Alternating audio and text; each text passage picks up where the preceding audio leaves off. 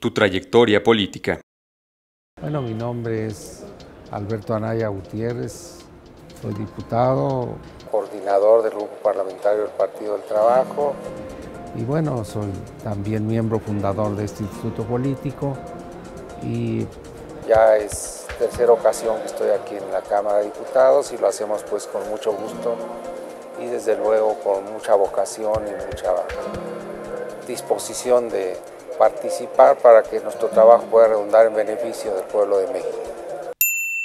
Más allá de la política, ¿quién eres? Académico. Soy docente en la Universidad Autónoma de Nuevo León.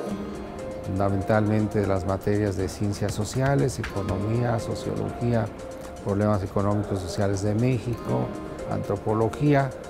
Eh, mi formación académica es variada, egresado de la UNAM, la Escuela Nacional de Economía, egresado también segunda carrera de la Universidad Autónoma de Nuevo León como licenciado en Derecho, una maestría más en la Facultad de Ciencias Políticas Sociales de la Universidad Autónoma de Nuevo León y dos maestrías más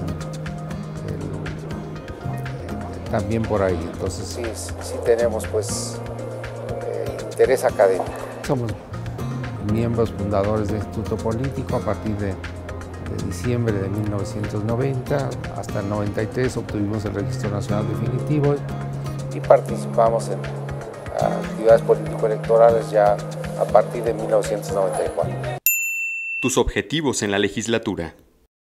Tenemos una agenda legislativa claramente señalada, entre ellos desde luego buscamos una reforma sendaria que beneficie a los sectores populares, que busque impuestos progresivos a los que más tienen y busque mayor equidad entre las entidades federativas.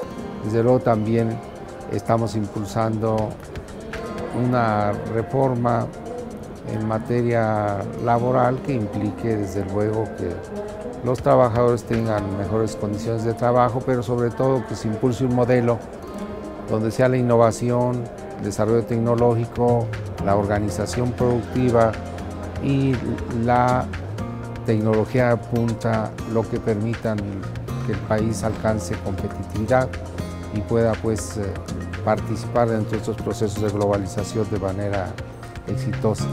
Estamos también en el interés de empujar la educación, eh, particularmente luchar por la educación universal de la educación temprana, pero también luchar por la universalización de la educación superior. Son aspectos nodales, importantes, que tenemos pues dentro de los objetivos de participación de esta legislatura. Tu reforma prioritaria.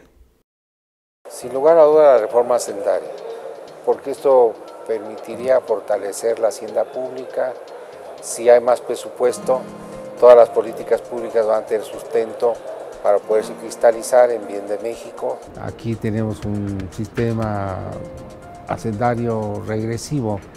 Implica no nada más eh, atender el tema fiscal, sino también el tema de la distribución de estos recursos.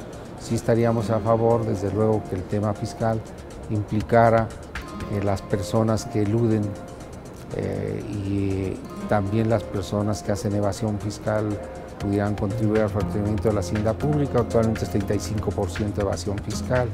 Luchamos pues para que los grandes empresarios también puedan pagar impuesto porque hoy lo eluden, lo evaden. Creemos nosotros que hay voluntad política para mantener a pie puntillas el proyecto neoliberal que tenemos en nuestro país desde el 82. No vemos salida en esta administración. Peña Nieto va a seguir haciendo lo mismo. Reelección legislativa, ¿a favor o en contra? Me recuerda a Porfirio Díaz. ¿Por qué los legisladores tienen tan mala imagen? Hay gente que no quiere una república en este país. La gran diferencia entre una monarquía y una república es el parlamento. Quisieran que desapareciera el parlamento. Su visión no es una visión republicana, es una visión monárquica. Y todo lo que significa echarle lodo al parlamento eh, van a seguir en esa misma lógica.